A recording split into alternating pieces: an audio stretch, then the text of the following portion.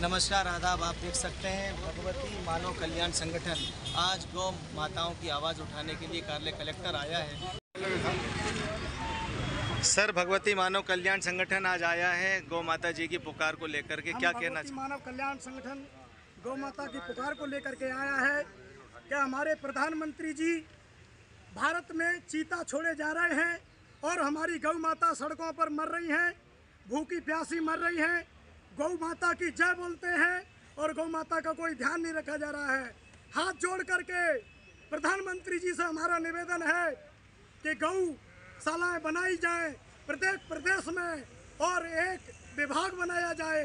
इन विभागों पर भर्ती की जाए और समाज के व्यक्तियों को रोज़गार दिया जाए, गौ की सेवा की जाए। ये चीते कोई ज़रूरी नहीं है। चीते तो भारत में कहीं भी मिल जाएँगे, पर गौ माता बचाना बहुत ज़रूरी है। गौ हमारी माता है वेद पुराणों में लिखा है गौ का हम दूध पीते हैं उसको माता मानते हैं। तो हमारा प्रधानमंत्री जी से निवेदन है कि गौशालाएँ हर प्रदेश में बनवाई जाएँ। यही हमारी पुकार है यही हमारा आग्रह है सरकारों से निवेदन है।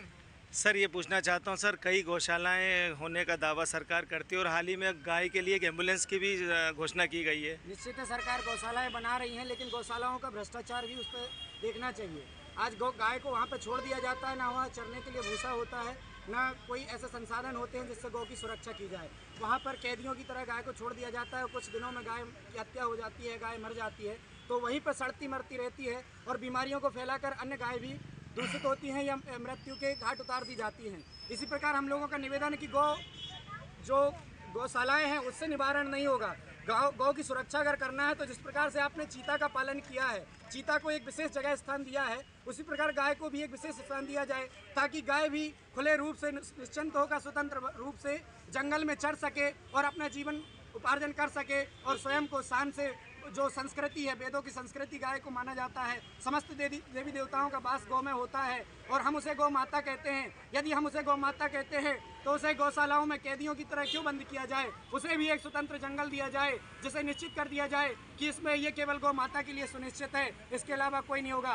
साथ ही गौ हत्या पर कड़ा कानून जो बनाया है, उस पर कड़े कानून को लागू किया जाना चाहिए, क्योंकि गौ हत्या पे इतना सख्त कोई कानून नहीं है, या कानून बना भी है तो उसका सख्तता से पालन नहीं किया जाता है। इसलिए गौ हत्यारे अपनी जो मनमानियाँ हैं, वो बढ़ाते जा रहे हैं। आज देखिए आप ट्रकों के ट्रक जंगल से लोड हो होकर गाय कटने के लिए जा रही हैं और उस पर कोई आवाज़ नहीं उठा रहा है। सरकारें मौन हैं, क्योंकि सरकारों को तो अपनी दुकानें चलानी है। अगर वास्तविकता में गौ हत्या की रक्षा करनी है तो गौ हत्या निषेध कानून लागू होना चाहिए और गौ अभ्यारण अवश्य बनवाना चाहिए। क्या नाम है आपका?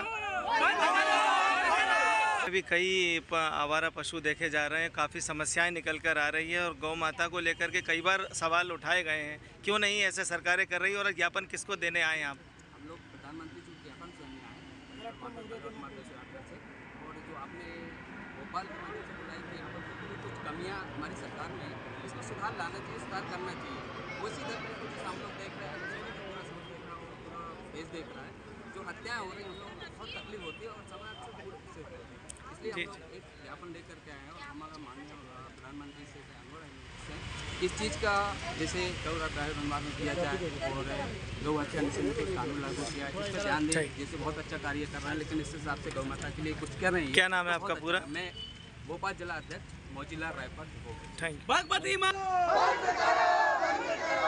हत्या बंद करो बंद करो बंद करो गौ हत्या बंद करो बंद करो बंद करो गौ माता करे पुकार फिर भी ना सुनती सरकार गौ माता करे पुकार फिर भी ना सुनती सरकार कल्याण संगठन, भारतीय शक्ति चेतना पार्टी की तरफ़ से माननीय प्रधानमंत्री जी को ज्ञापन दिया जा रहा है, जिसमें गौ अभ्यारण्य बनाए जाएँ और गौ हत्या निषेध कानून को प्रभावी रूप से लागू किया जाए।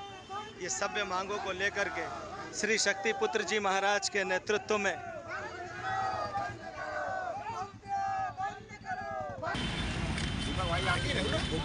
भारत